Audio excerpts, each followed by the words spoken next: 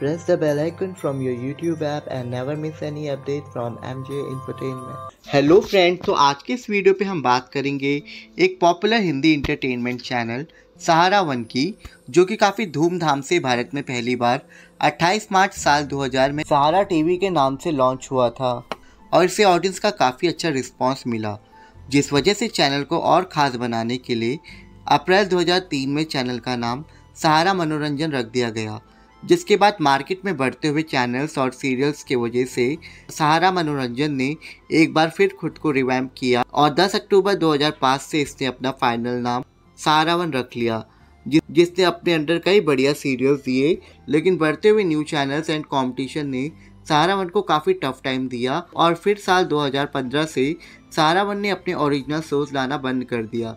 और अब ये सिर्फ़ मूवीज़ और अपने ओल्ड शोज़ ही ऑन ईयर करता है।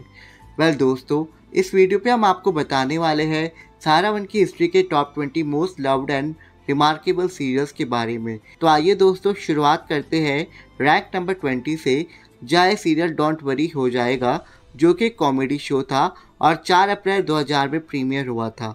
ये शो काफ़ी फ़नी और मज़ेदार होता था और काफ़ी अच्छा चला। तो आप बात करेंगे रैंक नंबर 19 की जाए सीरियल गंगा की धीज, जो कि नवंबर 2010 में लॉन्च हुआ था जिसमें दिखाया गया था पाखी नाम की लड़की का गाँव में हो रहे अंधविश्वास के खिलाफ जंग। इसके कुल 135 एपिसोड्स आए थे। वेल दोस्तों, अब बात करेंगे रैंक नंबर 18 की। जाए सीरियल कहीं तो मिलेंगे, जो कि साल 2002 में लॉन्च हुआ था, जिसकी कहानी थी बचपन में बिछड़े हुए चार भाई बहन पर, और फिर कैसे बड़े होने के बाद वो एक दूसरे से मिलते हैं। इस खूबसूरत शो के कुल 240 एपिसोड्स आए थे। तो दोस्तों, अब बढ़ते रैंक नंबर 17 की ओर। जाए सीरियल साहिब बीबी और गुलाम, जो कि 2004 में आया था और बॉलीवुड एक्ट्रेस रवीना टंडन ने शो में छोटी बहू के लीड रोल को किया था। ये एक बंगाली न्यूवर पर बेस्ड शो था और इसके कुल 104 एपिसोड्स बने थे। तो दोस्तों, अब मूव ऑन करते हैं रैंक नंबर 16 की तरफ़। जाए साल 2002 में आया सीरियल द्रौपदी, जिसकी कहानी महान ग्रंथ, महाभारत की एक बेहद ही लोकप्रिय किरदार द्रौपदी के ऊपर बेस थी। इसकी कहानी ओडिया के नोवेल यजना सेनी से प्रेरित थी। इस शो के कुल 36 एपिसोड्स आए थे। वेल दोस्तों आप बात करेंगे रैंक नंबर 15 की, जाए सीरियल हरे काज की चूड़िया, जो कि 2005 में लॉन्च हुआ था, जिसकी कहानी बेस्ड थी शामली नाम की एक मिडिल क्लास पर स्ट्रॉन्ग माइंडेड गर्ल पर, जो कि लाइफ के हर एक चैलेंजेस का बहादुरी से सामना करती है। इसके कुल 200 प्लस एपिसोड्स बने थे।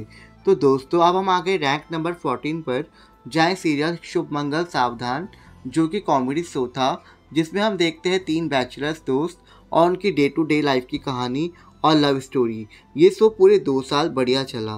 तो दोस्तों, अब चलते रैंक नंबर तेरह की ओर।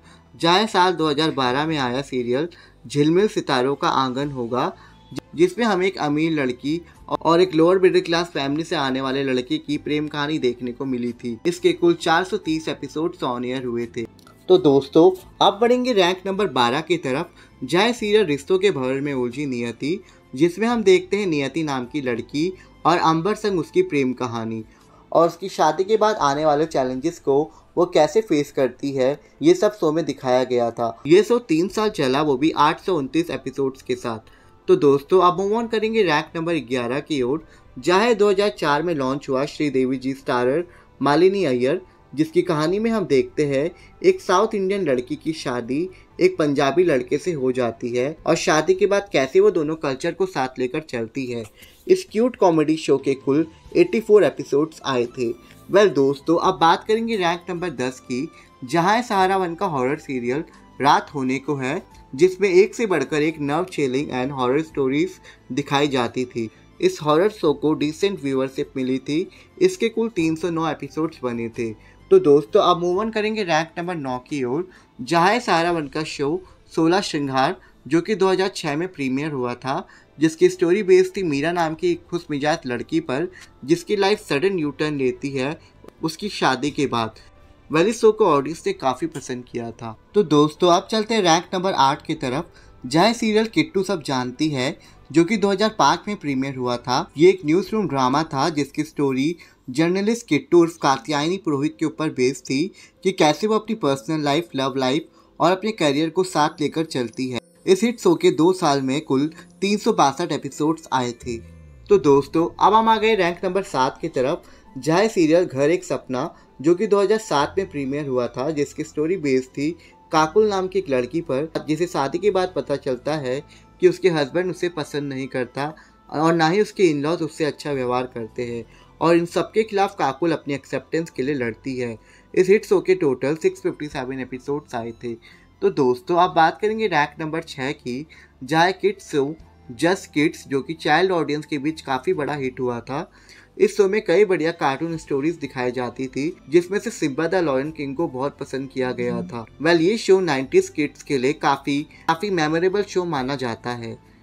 तो दोस्तों अब हम आ चुके रैंक नंबर पाँच पर जहाँ 2009 में आया सीरियल केसरिया बालम आवो हमारे देश जिसकी कहानी गरीब लड़की रुक्मणी पर आधारित थी जिसके चेहरे के एक तरफ़ जले का निशान होता है जिस वजह से उसे सोसाइटी अपने हस्बैंड और इन लॉज से हेट और इंसल्ट का सामना करना पड़ता है। अपने एक्सेप्टेंस के लिए लड़ती रुक्मिणी की कहानी को अच्छी व्यूवरशिप मिली और ये सीरियल पूरे दो साल तक चला। वेल दोस्तों आप बात करेंगे रैंक नंबर चार की, जहाँ सीरियल चाचा चौधरी, जो कि साल 2002 में आया था, जिसकी कहानी एक पॉपुलर कॉमिक्स कैरेक्टर चाचा चौधरी और उनके साथी साबू के अजब गजब किस्सों पर आधारित थी। ये शो किड्स और टीन ऑडियंस के बीच काफ़ी सुपरहिट रहा। इसके दो सीजन्स के साथ 415 एपिसोड्स प्रसारित हुए थे। तो दोस्तों अब हम आ गए रैंक नंबर तीन की तरफ़।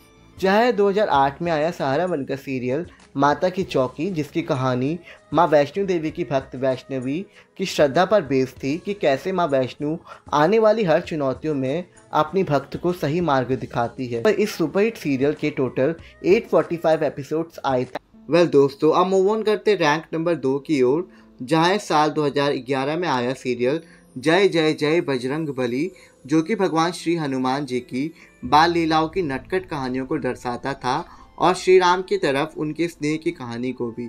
इस शो ने सहारा वन के हिसाब से अच्छी व्यूवरशिप गेन की और ये 1500 एपिसोड्स का लंबा सफ़र तय किया।